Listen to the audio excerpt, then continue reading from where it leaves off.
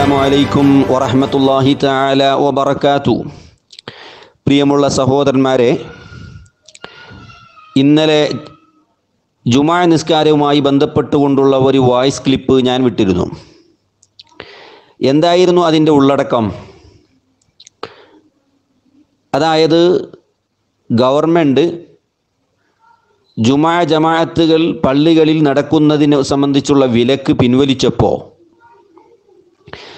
ചില നാട്ടുകാർ രോഗത്തിന്റെ വ്യാപനം ഭയന്നുകൊണ്ട് നമ്മുടെ നാടുകളിൽ ഇപ്പോൾ താൽക്കാലികമായി ജുമ ആരംഭിക്കുന്നില്ല എന്ന് തീരുമാനിച്ചു. അങ്ങനെ തീരുമാനി തീരുമാനിച്ചപ്പോഴാണ് ചില എഴുത്തുകളും വായിസുകളും കേൾക്കാനിടയായത്. എന്താണ് അതിലുള്ളത്?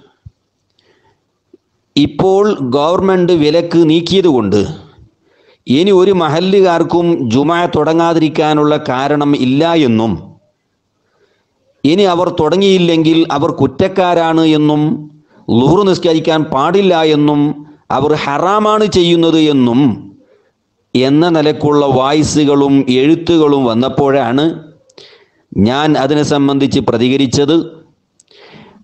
അങ്ങനെ ഒരിക്കലും പറയാൻ പറ്റുകയില്ല ഫത്വ കൊടുക്കാൻ പറ്റുകയില്ല. എന്തുകൊണ്ട്? രോഗവ്യാപനത്തിന്റെ ഭയം എന്നുള്ളത് അത് ഷറായിയായൊരു എഴുതറാണ് ഏതെങ്കിലും ഒരു വ്യക്തി ആ ഭയം ഉള്ളതുകൊണ്ട് ജുമാക്ക് പോവാതിരിക്കുകയോ അല്ലെങ്കിൽ ആ ഭയം നാട്ടുകാർക്ക് മുഴുവനും ഉണ്ടായി അവർ ജുമ നടത്താതിരിക്കുകയോ ചെയ്താൽ അവർക്ക് അങ്ങനെ നടത്താതിരിക്കാനും ജുമാക്ക് പോകാതിരിക്കാനുള്ള ഷറയ്യായ ഉതിറുള്ളത് കൊണ്ട് അവർ കുറ്റക്കാരാവുകയില്ല. അവർ ഹറാമു ചെയ്തവരാവുകയില്ല. അവർക്ക് ലൂർ നിസ്കരിക്കാവുന്നതാണ്. ഇതാണ് ഞാൻ ഇന്നലെ പറഞ്ഞത്. അല്ലാതെ ഇവിടെ ആരും ജുമ നിസ്കരിക്കണ്ട എന്നോ ജുമ തുടങ്ങണ്ട എന്നോ ആർക്കും ഇവിടെ വാദമില്ല. ജുമാക്ക് പോകുന്നതിന് ആരും ഇവിടെ തടയുന്നുമില്ല. അങ്ങനെ ഒരു വാദം നമുക്കാർക്കും ഇല്ല. ഏതെങ്കിലും ഒരു നാട്ടുകാരോട് നിങ്ങൾ ജുമ നടത്തണ്ട എന്ന് അടിച്ചേൽപ്പിക്കുകയോ നിങ്ങൾ നടത്തണ്ട എന്നോ അങ്ങനെ ഒരു വാദമോ അല്ലെങ്കിൽ കൽപ്പനയോ നമ്മുടെ ഭാഗത്ത് നിന്ന് എവിടുന്നും ഉണ്ടായിട്ടും ഇല്ല. മറിച്ച് രോഗവ്യാപനത്തിന് ഭയന്നുകൊണ്ട് ഏതെങ്കിലും ഒരു വ്യക്തി ജുമാക്ക് പോയില്ല. അല്ലെങ്കിൽ ആ ഭയം നാട്ടുകാർക്ക് മുഴുവനുമുണ്ടായി. അവർ ജുമാ നടത്തുന്നില്ല എന്ന് തീരുമാനിച്ചു. എങ്കിൽ അവർ കുറ്റക്കാരാവുകയില്ല. അവർക്ക് അങ്ങനെ തീരുമാനിക്കാനുള്ള ശറയ്യായ ഉതിറുണ്ട് ആ ഉതിറുള്ള നാട്ടുകാർ കുറ്റക്കാരാവുകയില്ല. ഇത് ഫിഖഹിനിൽ പഠിപ്പിച്ച നിയമമാണ്. അതുകൊണ്ട് ഈ നിയമത്തിന് വിരുദ്ധമായി എല്ലാവരോടും ജുമായ തുടങ്ങാൻ അടിച്ചേൽപ്പിക്കുന്നതും തുടങ്ങിയില്ലെങ്കിൽ കുറ്റക്കാരാകും നിങ്ങൾ ലുഹുർ നിസ്കരിക്കാൻ പാടില്ല എന്ന് പറയുന്നതും അള്ളാഹുവിന്റെ ദീനിന്റെ നിയമത്തിനെ മാറ്റിമറിക്കലാണത്. അള്ളാഹുവിന്റെ ദീനിനെ വികൃതമാക്കലാണത്. ഷറായിയായ ഉഴുതർ ഇസ്ലാമിക കർമ്മശാസ്ത്രത്തിൽ ഇസ്ലാം പഠിപ്പിക്കുമ്പോൾ ആ നിയമത്തിനെതിരായി കുറ്റകാരാക്കുന്നതും ഒരു നാട്ടിലെ മുഴുവൻ ആളുകളെയും ഹറാമു ചെയ്തതവരായി ചിത്രീകരിക്കുന്നതും അത് ഷറയിൽ വിരോധിക്കപ്പെട്ടതാണ് പാടില്ലാത്തതാണ്. ഇതാണ് നമുക്ക് പറയാനുള്ളതും അതാണ് നമ്മൾ പറഞ്ഞതും. അല്ലാതെ ഇവിടെ ആരും ജുമാ തുടങ്ങുന്നതിനെ വിരോധിക്കുകയോ തടയുകയോ ചെയ്തിട്ടുമില്ല ചെയ്യുന്നുമില്ല. അത് ആവശ്യവും ഇല്ല. ജുമാ നടത്തുന്നവരൊക്കെ നടത്തട്ടെ. ഏത് നാട്ടുകാർക്കും ജുമാ നടത്താനുള്ള അധികാരമുണ്ട്. അവർക്ക് അത് നടത്താവുന്നതുമാണ്. പക്ഷേ ഇനി ഒരു പക്ഷേ ഒരു നാട്ടുകാർ ഈ പറഞ്ഞ ഷറയ്യായ ഉതിർ കാരണമായി നടത്തിയില്ലെങ്കിൽ അവർ കുറ്റക്കാരാവുകയില്ല. ഇതാണ് നമ്മുടെ വാദം. അതാണ് ഇന്നലെ പറഞ്ഞത്. അല്ലാതെ അവരെ കുറ്റക്കാരാക്കാൻ എന്ത് അധികാരമാണുള്ളത്? ഏത് നിയമത്തിന്റെ അടിസ്ഥാനത്തിലാണ് അവരെ കുറ്റക്കാരാക്കുന്നത്? അവർ ഷറയ്യായ ഒഴുതിറിന്റെ അടിസ്ഥാനത്തിൽ ജുമാ നടത്തിയില്ലെങ്കിൽ അവർ കുറ്റക്കാരാകുമെന്ന് പറയുന്നത് ഫിഖഹിന്റെ ഏത് നിയമത്തിന്റെ അടിസ്ഥാനത്തിലാണ്? അതാണ് ചോദ്യം ചെയ്തത്. അങ്ങനെ പറയാൻ കർമ്മശാസ്ത്ര രംഗത്ത് ഒരു വകുപ്പും ഇല്ല. അത് അള്ളാഹുവിന്റെ ദീനിനെ മാറ്റിമറിക്കലാണ്. അതിനെയാണ് ന്യായമായി ഇന്നലെ വിമർശിച്ചിട്ടുമുള്ളത്. അല്ലാതെ നമുക്കാർക്കും ജുമാ തുടങ്ങുന്നതിനോട് എതിർപ്പോ അല്ലെങ്കിൽ തുടങ്ങരുത് എന്നോ അങ്ങനെ ഒരു വാദം നമുക്കാർക്കും ഇല്ല. ഇനി രണ്ടാമത് ഇവിടെ പറയാനുള്ളത്. ഒരു ചർച്ച കേട്ട് കേൾക്കാൻ സാധിച്ചു. ഇപ്പോൾ പേടിയില്ല എന്ന്. ചില ആൾ ചില ആൾ പറയുന്നു ഇപ്പോൾ പേടിയില്ല തുടക്കത്തിൽ പേടി ഉണ്ടായിരുന്നു ഇപ്പോൾ പേടിയില്ല. മറ്റു ചില ആളുകൾ പറയുന്നു തുടക്കത്തിലും ഉണ്ടായിരുന്നില്ല ഇപ്പോഴും ഉണ്ടായിരുന്നില്ല. ശരി ഇല്ലാത്ത ആളുകൾക്ക് ഇല്ല എന്ന് പറയാം. പക്ഷെ അതുകൊണ്ട് മറ്റുള്ള ആർക്കും ഇല്ല എന്ന് പറയുന്നത് എങ്ങനെ? തനിക്ക് പേടിയില്ല എന്ന് പറയാം. തുടക്കത്തിലുണ്ടായിരുന്നില്ല ഇപ്പോഴും ഇല്ല. അതേസമയത്ത് മറ്റാർക്കുമില്ല എന്ന് പറ തീർപ്പ് കൽപ്പിക്കുന്നത് അങ്ങനെ ഒരു നിയമം പാസാക്കുന്നത് ഏതിന്റെ അടിസ്ഥാനത്തിലാണ്? പൂച്ച കാഷ്ടിക്കുമ്പോൾ താൻ കാഷ്ടിക്കുന്നത് ആർക്കും കാണാൻ പാടില്ല എന്ന നിലയ്ക്ക് പൂച്ച കണ്ണ് ചിമ്പാറുണ്ടത്രേ.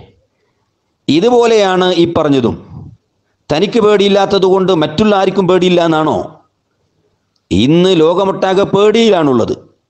പേടിയിലാണ് ആളുകൾ അധിക ആളുകൾ കഴിയുന്നത്. ഇന്ന് പേടിയില്ല എന്ന് പറയുന്നത് എങ്ങനെ? അതുകൊണ്ടല്ലേ ഈ അടുത്ത് സ്കൂൾ ആരംഭിക്കുന്നത് സംബന്ധിച്ച് ഗവൺമെന്റിന്റെ അധികൃതരായ ആളുകൾ രക്ഷിതാക്കളുമായി തമ്മിലുള്ളൊരു മീറ്റിംഗ് നടത്തിയപ്പോൾ രക്ഷിതാക്കൾ അധിക ആളുകൾ വിരോധിച്ചു ഇപ്പോൾ സ്കൂൾ ആരംഭിക്കരുത് എന്ന്. എന്തുകൊണ്ട്? രോഗത്തിന്റെ ഭയം ഭയം കൊണ്ടല്ലേ നമ്മുടെ കുട്ടികളെ സ്കൂളിലേക്ക് അയക്കൂല എന്ന്. എത്ര രക്ഷിതാക്കളാണ് പറയുന്നത്? ഇക്കൊല്ലം സ്കൂളിലേക്ക് നമ്മുടെ കുട്ടികളെ നമ്മൾ അയക്കൂല എന്ന്. എത്രയോ രക്ഷിതാക്കൾ തീരുമാനിച്ചിട്ടുണ്ട്. എന്തുകൊണ്ട്? രോഗത്തിന്റെ വ്യാപനത്തിന് ഭയന്നുകൊണ്ടാണ്.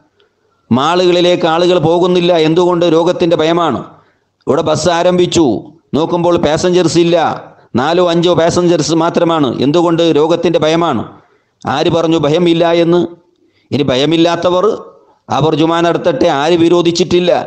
ഭയമുള്ളവർക്ക് ജുമാക്ക് പോകാതിരിക്കാനും നാട്ടുകാർക്ക് മുഴുവനും ഭയമുണ്ടെങ്കിൽ ജുമാ നടത്താതിരിക്കാനും ഉണ്ട് അധികാരമുണ്ട്. ഭയമില്ലാത്ത നാൽപ്പത് ആളുകളുണ്ടെങ്കിൽ അവർക്ക് അവിടെ ചേർന്ന് ജുമാ നടത്താവുന്നതുമാണ്. അതിനാരും ഇവിടെ വിരോധിച്ചിട്ടില്ല. പക്ഷേ ഒരു നാട്ടിലും ഭയമില്ല എന്ന് അടിച്ചേൽപ്പിക്കുകയും എല്ലാവരും ജുമാ നടത്തണം അല്ലെങ്കിൽ കുറ്റക്കാരാകും എന്നുള്ള ഫത്വ നൽകുന്നതും അത് അനിസ്ലാമികമാണ്. ഇസ്ലാമിന്റെ കർമ്മശാസ്ത്രത്തിനെതിരാണ്. അതാണ് നമുക്ക് പറയാനുള്ളത്. പിന്നൊന്ന് ഗവൺമെന്റിന്റെ സ്ലോഗനാണ് ഏറ്റവും വലിയ തെളിവ് ചില ആളുകൾക്ക്. പേടി വേണ്ട ജാഗ്രത മതി എന്ന് ഗവൺമെന്റ് പറയുന്നുണ്ട്. അതുകൊണ്ട് ആർക്കും പേടിയില്ല. ഇത് എന്തൊരു കണ്ടുപിടുത്താണ്? ഇത് വല്ലാത്തൊരു കണ്ടുപിടുത്ത കണ്ടുപിടുത്തമാണല്ലോ. പേടിക്കണ്ട എന്ന് അവർ പറഞ്ഞതുകൊണ്ട് മനുഷ്യന്മാർക്കാർക്കും പേടിയില്ല എന്നാണോ ഇത് വല്ലാത്തൊരു കണ്ടുപിടുത്തമാണ്. ഒരു രോഗിനെ ഓപ്പറേഷൻ ചെയ്യാൻ വേണ്ടി ഓപ്പറേഷൻ തിയേറ്ററിലേക്ക് കൊണ്ടുപോകുമ്പോൾ രോഗിയോട് ഡോക്ടർ പറയും പേടിക്കണ്ട എന്ന്. അപ്പോൾ നോക്കി നിൽക്കുന്ന ഒരാൾ പറയാ ആ രോഗി ഒന്നും പേടിച്ചിട്ടില്ല കേട്ടോ എന്തേ? അത് ഡോക്ടർ പറഞ്ഞിട്ടുണ്ട് പേടിക്കണ്ട. അപ്പോൾ ഡോക്ടർ പറഞ്ഞത് കൊണ്ട് അയാൾ പേടിക്ക് പേടിയില്ല എന്നാണോ ഇതെന്തൊരു കണ്ടുപിടുത്താണ്? പ്രസവിക്കുന്ന മകൾ പ്രസവ വേദന വന്ന് പ്രസവിക്കാൻ വേണ്ടി പ്രസവ റൂമിലേക്ക് പോകുമ്പോൾ ഉമ്മ മകളെ വിളിച്ച് പറയും മകളെ പേടിക്കണ്ട. അപ്പോൾ ഭർത്താവ് പറയുക എന്റെ മകളൊന്നും എന്റെ ഭാര്യ ഒന്നും പേടിച്ചിട്ടില്ല. എന്തേ? അത് എന്റെ അമ്മായി പറഞ്ഞിട്ടുണ്ട് പ്രസവിക്ക മകൾ പോകുമ്പോൾ നീ പേടിക്കണ്ട അപ്പോൾ പേടിക്കണ്ട എന്ന് പറഞ്ഞാൽ മകൾ ഹൃദയത്തിൽ പേടിയില്ല എന്നാണോ പേടിച്ചിട്ടാണ് പ്രസവിക്കാൻ വേണ്ടി പോകുന്നത്. ആരും. പക്ഷെ ഉമ്മ പറയും മോളെ പേടിക്കണ്ട ഒന്നും പേടിക്കണ്ട പക്ഷെ മകൾ പേടിയോടുകൂടെ തന്നെയാണ് പോകുന്നത്. ആര് പറഞ്ഞു അപ്പോൾ പേടിക്കണ്ട എന്ന് പറഞ്ഞാൽ അതിന്റെ അർത്ഥം പേടിയില്ല എന്നാണോ? ഇത് വല്ലാത്ത കണ്ടുപിടുത്തമാണ്. ഒരു ഭയപ്പെടുന്ന മഹൂഫായ കാര്യം ഉണ്ടാകുമ്പോഴാണ് സാധാരണ പേടിക്കണ്ട എന്ന് പറയുന്നത്. അതിന്റെ അർത്ഥം അവിടെ പേടിയില്ല എന്നല്ല. പേടി ഉണ്ടാകുന്ന ഉള്ള സന്ദർഭത്തിലാണ് ഈ പേടിക്കണ്ട എന്ന് പറയുന്നത്. അപ്പം അതുകൊണ്ട് പേടിക്കണ്ട എന്ന് ഗവൺമെന്റ് പറഞ്ഞതുകൊണ്ട് പേടിയില്ല എന്ന് കണ്ടുള്ള കണ്ടുപിടുത്തം അത് വല്ലാത്തൊരു കണ്ടുപിടുത്തമാണ്. അപ്പം അതുകൊണ്ട് ഇതൊന്നും ഇവിടെ യഥാർത്ഥത്തിൽ ചർച്ചയല്ല. നമ്മുടെ ചർച്ച എന്താണ്? ഇവിടെ ജുമ ആരെങ്കിലും ആരംഭിക്കണോ ആരംഭിക്കണ്ടേ എന്നല്ല ചർച്ച. ആരെങ്കിലും രോഗഭയ വ്യാപനത്തിനെ ഭയന്നുകൊണ്ട് ഇവിടെ ജുമ ആരംഭിച്ചിട്ടില്ലെങ്കിൽ അവർ കുറ്റക്കാരാകും അവർ ലോഹുസ്കരിക്കാൻ പാടുള്ളതല്ല അവർ ഹറാമ് ചെയ്തവരാണ് എന്ന് ഫത്വ നൽകാൻ കർമ്മശാസ്ത്ര ഗ്രന്ഥത്തിൽ എന്താണ് തെളിവുള്ളത്? അതാണ് നമുക്ക് മനസ്സിലാകാത്തത്. ഇനി മറ്റൊരു കാര്യം ചില ആൾ പറഞ്ഞു ഇങ്ങനെ രോഗ വ്യാപനമുള്ള സമയത്ത് ജുമാ നടത്തിയില്ലെങ്കിൽ അവർ കുറ്റക്കാരാവുകയില്ല എന്ന് പറയുമ്പോൾ ആ പറഞ്ഞ ആളുകൾ ഒമൻ അല്ലമു മിമ്മന മസാജിദ് അല്ലാഹി അയ്യുദ്കറഫി ഹസ്മുഹു വസാഫി ഖറാബിഹ അള്ളാഹുവിന്റെ പള്ളികളിൽ ദിക്ർ ചൊല്ലുന്നതും നിസ്കരിക്കുന്നതിനെ തൊട്ട് തടയുന്നവനേക്കാളും വലിയ അക്രമി ആരാണുള്ളത് എന്ന് ഖുർആന്റെ ആയത്തിൽ പറഞ്ഞ ആ കൂട്ടത്തിൽ പെടുമെന്നാണ് ചില ആളുകളുടെ കണ്ടുപിടുത്തം.